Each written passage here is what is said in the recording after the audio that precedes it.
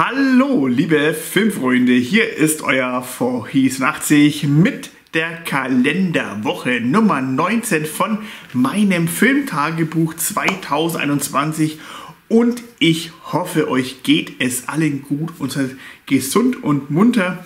Ja, letzte Woche war wieder einiges los bei mir. Ich habe wie soll ich sagen, ABM-Maßnahmen bei mir durchgeführt, ja, Arbeitsbeschaffungsmaßnahmen. Ich habe mir vorgenommen, ich will mal mein komplettes Sammlungszimmer ein bisschen umstellen und dann habe ich wirklich alles ausgeräumt, was nur so geht. Und dann ist mir, ist mir irgendwie aufgefallen, es schaut extrem scheiße aus. Jetzt steht es fast alles genauso wie vorher, aber ich habe ein bisschen was verteilt. Also ihr könnt euch schon mal darauf freuen, es wird, denke ich mal, demnächst ein neues Overview-Video geben, aber bitte habt Geduld. Ich bin alt geworden, ja. Ähm, aber ich bin auf jeden Fall dabei. Ich bin immer noch am Umräumen, aber langsam sehe ich schon mal ein Licht am Ende des Tunnels. Trotz alledem habe ich ein paar Filme geguckt und die Woche war es endlich soweit. Ich habe langsam meine äh, ja, Watchlist fast abgearbeitet von den ganzen einzelnen Filmen. Gott sei Dank, ich habe nur noch 10 Stück vor mir jetzt. Ja, und habe ich es auch alle fertig geguckt. Also habe ich alle Filme gesehen, die in meiner Liste hier im Zimmer sind. Und bin langsam, langsam schon stolz drauf. Es ist nicht mehr viel, aber natürlich die Filmreihen. Die Filmreihen kommen noch sehr viele auf euch zu, also da könnt ihr nur darauf freuen. Aber auch da habe ich mir so wegen das portioniert machen, nicht immer jede Woche 5, 6 Stück angucken, wäre ich auch irre. Denn man braucht natürlich auch sehr viel Vorarbeit oder zumindest auch ein bisschen Vorbereitung für diese Videos dazu noch. Ja, und ich habe die Woche auf jeden Fall eine Johnny Depp Woche gemacht, gemacht denn ich habe noch so viele Johnny Depp Filme übrig gehabt, die ich noch nicht gesehen habe. Denn ich habe ja mal letztes Jahr alle Johnny Depp Filme mal geholt und seitdem nicht mehr weitergeguckt. Und jetzt sind solche Filme dabei, die mich wirklich wenig interessiert haben, aber jetzt einfach mal Zeit habe, okay, komm, die schauen wir jetzt einfach mal weg. Und ja, am 10. Mai habe ich dann mal gestartet mit einem Film, den ich wirklich vor vielen Jahren das letzte Mal gesehen habe und den extrem langweilig fand. Ist auch ein Film von Tim Burton und ich liebe eigentlich auch diesen Regisseur.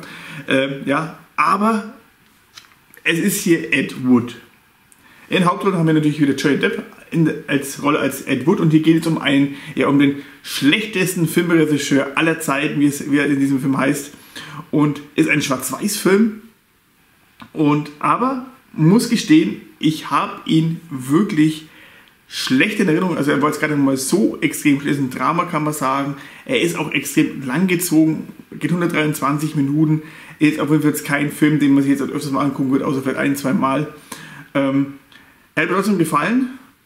Rolle von Johnny Depp natürlich auch über, über, über, überspitzt wie immer. Aber auch hier muss man hervorheben, auch der gute Bill Murray, der hier mitspielt, als ähm, ja, homosexuellen Produzenten unglaublich geil gespielt, hat mir sehr gut gefallen.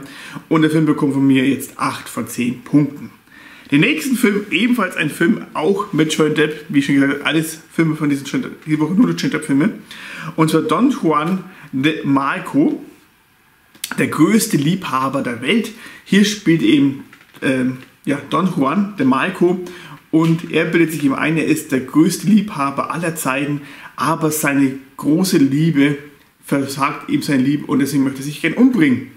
Ein Psychiater, ein Arzt findet ihn auf dem Fensterdach, Fenster sind um runterspringen will, er rettet ihn und dann muss er leider in die Psychiatrie eingewiesen werden und alle glauben ihm nicht, dass er Don Juan ist und dieser Psychiater nimmt ihn dann in die Obhut und versucht ihn dann zu überzeugen, dass er eben ein ganz normaler Mensch ist. Aber in dem Falle stimmt es eventuell, denn er erzählt ihm viele, ganz, ganz viele Geschichten und irgendwie kommt dann der Reiz auch beim Psychiater an. Und ein, auch ein sehr schöner Film, muss ich wirklich sagen, hat es jetzt auch kein, ähm, ja, jetzt kein klassischer Liebes-Romanzenfilm, ist jetzt nicht. Er ist wirklich sehr gut gemacht, hat mir auch sehr viel Spaß gemacht, hat ein paar Lacher mit dabei, auch eine gute Rolle hier von Johnny Depp. Und auch dieser Film bekommt von mir 8 von 10 Punkte, geht 90 Minuten, ist ein kleiner, kurzer äh, Filmchen, der auch recht zügig vorangeht. Ja, Don Juan bekommt von mir 8 von 10 Punkte. So, und jetzt, jetzt kommen wir, glaube ich, für mich zu den schlimmsten Filmen von ganzen Johnny Depp Filmen. Nämlich am 11. Mai haben wir angeguckt Dead Man. Ein Film von Jim Jarmusch. Jarmusch. Ah. Es spielen wirklich extrem viele bekannte Schauspieler mit. Unter anderem auch hier Iggy Pop, Billy Bob Thornton zum Beispiel, auch äh, Gabriel Byrne, John Hurt auch spielt hier mit. Äh, der Film geht 121 Minuten und ich muss echt gestehen, ich habe keinen Plan, um was es bei diesem Film ging. Ohne Scheiß. Ich bin schon bei den ersten 10 Minuten komplett ausgestiegen. Ich habe mir den Film komplett angeguckt. Aber es war so ein anstrengender Film. Das ist also ein reiner, wirklich für mich ein richtiger Arthouse-Film, kann man jetzt hier bezeichnen. Liebe Grüße an dich, lieber Kadaver. Eventuell kennt diesen Film auch. Also für mich hat dieser Film absolut nichts Überzeugendes übrig gebracht. Ähm, also wirklich Langeweile pur, der ganze Film über. Entweder mir nicht verstanden, kann auch sein.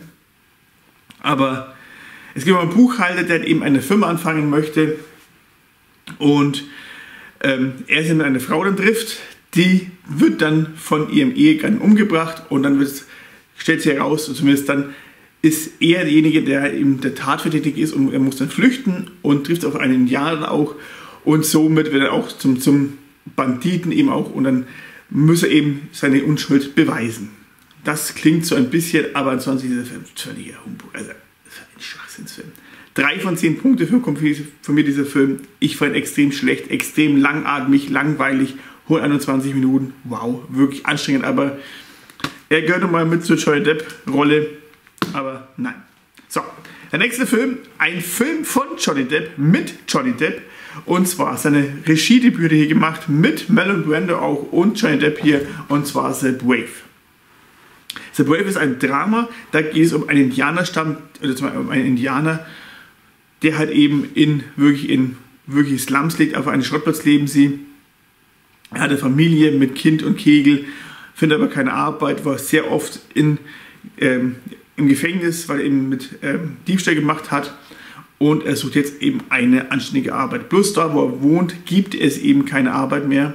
Und dort trifft ihn auf einen reichen Mann, eben gespielt von Marlon Brando, der ihm 50.000 Dollar anbietet, wenn er sich vor ihm oder von ihm sie umbringen lässt, feuern lässt und dann töten lässt.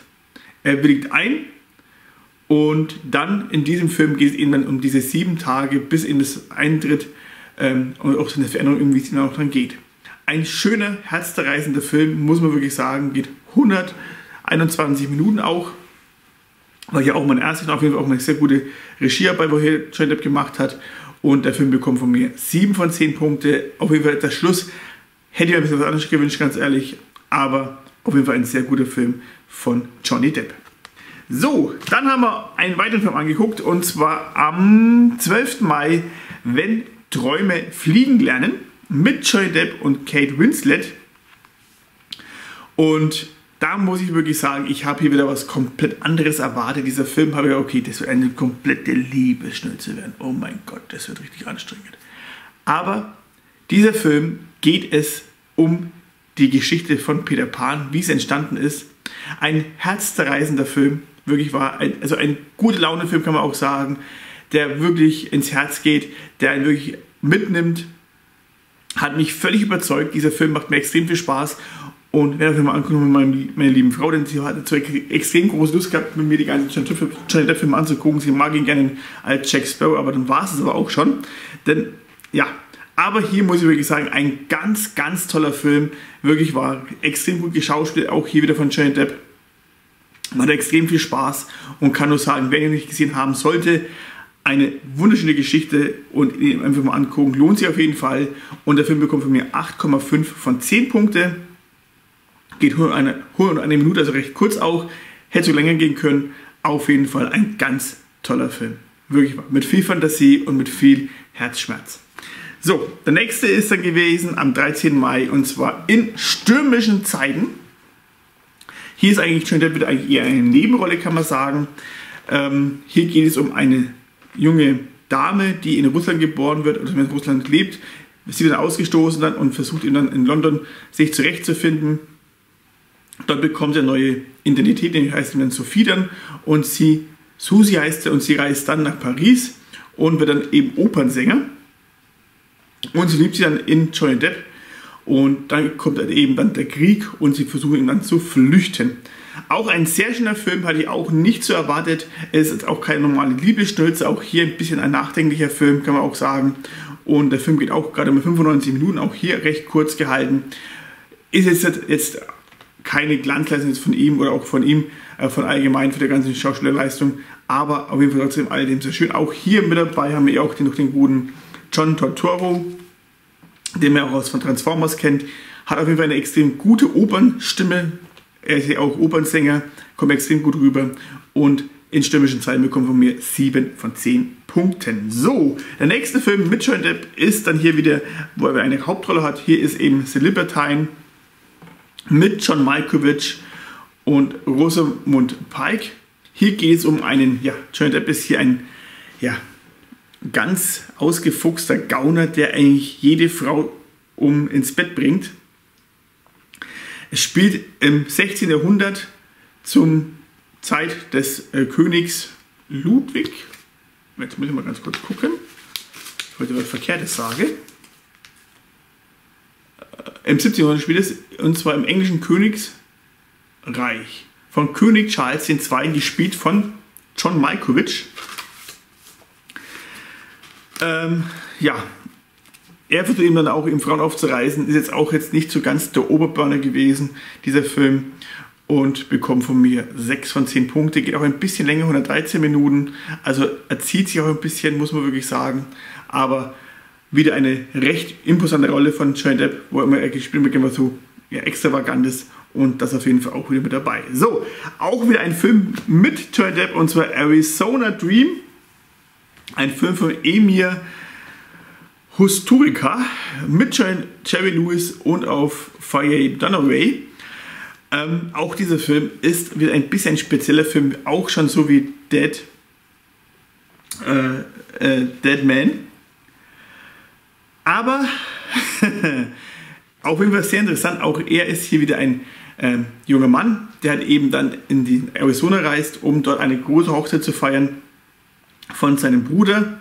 Und sein Onkel ist eben ein riesengroßer Besitzer von einem Cadillac äh, Automobilunternehmen und er verguckt dann bei, bei einer netten Dame, die ihm gerade eben ein Auto verkaufen möchte. Die ist auch völlig durchgeknallt. Die beiden verlieben sich dann in ihre Tochter, versuchen diese Liebe auseinanderzubringen. Auch ein sehr spezieller Film, muss man wirklich sagen, für nicht jedermanns Geschmack. Meiner war jetzt auch nicht ganz so der Filmgeschmack, aber er war auf jeden Fall trotzdem ansehnlich als hier Dead Man.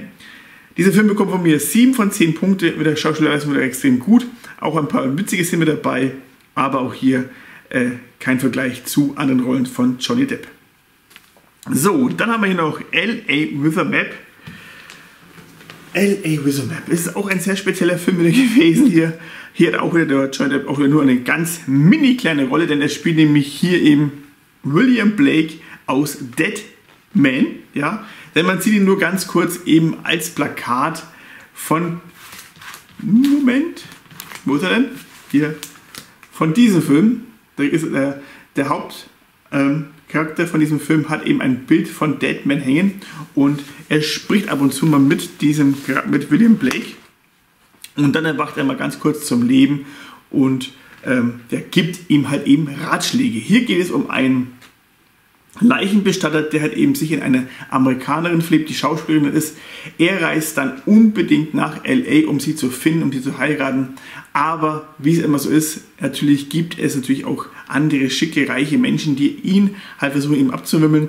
Und diese Frau halt eben, äh, der selbst ergattern möchten, ist ein klassisches Liebesgeschichte, kann man sagen, die jetzt eben zum Schluss auch wieder aufgeht oder auch nicht hm, seid gespannt.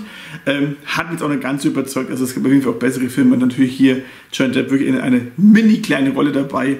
Aber als Johnny Depp-Fan braucht man auch diesen Film. Der Film bekommt von mir 7 von 10 Punkten. So, und dann haben wir, habe ich dann mit meiner lieben Frau einen Film angeguckt, auf den ich auch, mich auch gedacht okay, eine Liebesstülze schlechthin. Ja, ähm, lassen Sie sich verzaubern. Schokolade, ein kleiner Biss genügt mit Juliette Binoche und Judy Dench. Und ja, auch hier komplett null Erwartung an diesen Film gehabt, muss man wirklich sagen. Hier ist eigentlich auch aber eigentlich eher wieder eine Nebenrolle. Ihn sieht man ungefähr so 10, 20 Minuten in dem ganzen Film. Zum Schluss ein bisschen mehr. Aber also auch dieser Film ist auch ein Film, der einfach gute Laune verbreitet. Hier geht es eben um diese Dame hier, die in einer französischen, französischen Kleinstadt ein, ein Süßigkeitenladen eröffnet, eine Schokolaterie aufmacht vor der Kirche. Aber der Bürgermeister ist halt sehr konservativ eingestellt. Es ist Fastenzeit und es darf natürlich keine Schokolade essen. Aber sie wickelt eben viele Menschen um die Finger. Und dann wollen sie eben mit der Julie Dench an, mit der Großmutter eines Jungen, den sie eigentlich nicht mehr gesehen hat. Und dann kommen auch dann die ja, Piraten. Und wer ist wohl da der Captain von diesen Piraten? Natürlich Johnny Depp. Und dann gibt es ein kleines Techtelmechtel. Aber man muss wirklich sagen, dieser Film ist wirklich ein verzauberter Film. Das ist, lass sich verzaubern. Es ist echt ein wunderschöner Film. Unglaublich. Hätte ich nicht erwartet, dass mir dieser Film so gut gefällt. Ist von den ganzen Filmen, die ich jetzt hier gesehen habe, mit bei Nummer 1 von diesen ganzen zwölf Filmen, die ich jetzt gesehen habe. Danach kommt gleich, äh, wenn Träume fliegen lernen. Ähm, auch ein ganz zauberhafter Film für die ganze Familie, für nachmittags, wenn es außen regnet. Dann gucken wir sich diesen Film an und dann ist man auf jeden Fall gut gelaunt. Der Film bekommt von mir 9 von 10 Punkte.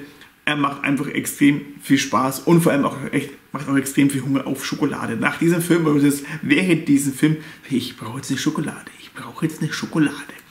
Ja, Film ist wirklich echt ganz toll. Geht 121 Minuten und kann nur sagen, wenn ihr nicht kennt, den einfach mal angucken. So, und dann haben wir noch abends geguckt, bevor man, oder mein Freund ins Bett gegangen ist, dann noch dann äh, äh, Java Javier Badem, der auch von Flugzeug 5 der Captain spielt, Before Night Falls. Ja, ich habe den schon vor ein paar Wochen mal angeguckt zu gucken, bin dabei eingeschlafen. Und hier geht es um einen Schriftsteller, der in Kuba aufwächst, ist dann homosexuell geworden, hat Bücher geschrieben, aber bei der Fidel Castro-Regime wurden eben die Homosexuellen und auch natürlich dann das ganze Schriftsteller auch hier dezimiert, einfach aus dem Grund, weil sie können natürlich was gegen das Regime schreiben. Und somit äh, musste er auch ins Gefängnis. Das ist eine Biografie über diesen Schriftsteller. Ich muss mal kurz sagen, wie er heißt, das habe ich noch vergessen. Den Namen von dem Schriftsteller. Äh, Rinaldo Arenas. Ja, tja. Und dann natürlich auch ein sehr interessanter Film, auf jeden Fall auch. Hat mir auch am Anfang nicht ganz überzeugt, aber dann zum Schluss wirklich wow, ein ganz tolle Biografie über diesen Film. Diesen Film gibt es noch nicht auf Blu-ray, gibt es nur auf DVD, ist auch sehr teuer gewesen, diese Blu-ray-Disc, äh, diese DVD. Ähm, auch ein Dramafilm und haben wir hier Johnny Depp auch in eine ganz mini kleine Rolle als einen General im Gefängnis, also wirklich auch hier eine minimale Rolle. Hauptrolle hat hier auf jeden Fall auch der Javier Bardem und spielt diese Rolle auch extremst gut, ja, extremst gut und kann nur sagen, auch ein ganz toller Film. Bekommt von mir 8 von 10 Punkte. Auch dieser Film, wenn man gucken kann, einfach mal ansehen. Ähm, also jetzt den Film für so teures Geld kaufen würde ich jetzt nicht, ganz ehrlich, ich habe jetzt auch jetzt bei Rüber gekauft, weil ich sehe nicht ein für DVD so viel auszugeben. Bei Amazon ist glaube ich bei 33 Euro. Guck mal bei Rüber vorbei. Da habe ich dann, glaube ich, gekauft für 10, 15 Euro. Ist auch noch teuer für eine DVD, aber ich, ich wollte einfach keine ganzen Trader-Filme haben und damit war es für mich auch dann erledigt. Ja, also Before Night Falls, ein ganz toller Film auch, 8 von 10 Punkte. Und dann noch, wollte ich eigentlich noch den äh, Film angucken, das Kabinett des Dr. Panassos. Leider ist die Disc irgendwie beschädigt ähm, und deswegen wird es ausgetauscht. Also muss ich den vorletzten Film noch angucken von Johnny Depp aus meiner Liste noch und zwar Happy End mit Hindernissen. Und das ist ein französischer Film. auch ein ganz toller Film, auch. Auch hier haben wir jetzt schon in einer mini kleinen Rolle. Also wirklich noch kleiner als alle Rollen wie bisher. Wir sind ungefähr, naja, kurz mal für zwei Minuten am Mitte des Teil des Films und dann zum Ende hin nochmal zwei Minuten, also ungefähr vier Minuten. Hat auch eine extrem kurze Rolle, aber diese Rolle hat es auf jeden Fall zum Schluss noch in sich. Also die Rolle, die er auch gerne gemacht, er ist eigentlich nur zum, zum Küssen da, dieser ganze gute Mann. Ähm, ja, hier geht es eben um drei Pärchen, die halt eben ein paar Probleme haben mit ihrer Beziehung haben, wie es natürlich immer ist, wenn man verheiratet ist, haben wir Kinder, gibt immer einige Probleme, ja. Und diese Probleme werden in diesem Film natürlich auch gut ausgeschildert und auch beschrieben auch. Einer geht dann fremd und ja, wie das alles ausgeht. Hm. Ende ein bisschen konfus, hätte mir den Film ein bisschen länger gewünscht noch, Aber hat mir auch Spaß gemacht, geht 106 Minuten dieser Film und bekommt von mir ebenfalls 8 von 10 Punkte. Und das waren meine ganzen Joint-Filme, die ich jetzt diese Woche angeguckt habe. Es fehlt noch ein einziger, da habe ich alle Joint-Filme gesehen. Eventuell gibt es ein Video dazu von allen Filmen von Johnny Depp, die ich jetzt hier in meiner Sammlung habe. Und ja, was habt ihr denn diese Woche angeguckt? Schreibt es gerne in die Kommentare rein, würde mich freuen. Und dann sehen wir uns beim nächsten Video wieder. Bleibt alle gesund und tschüss mit Ö und Bieb.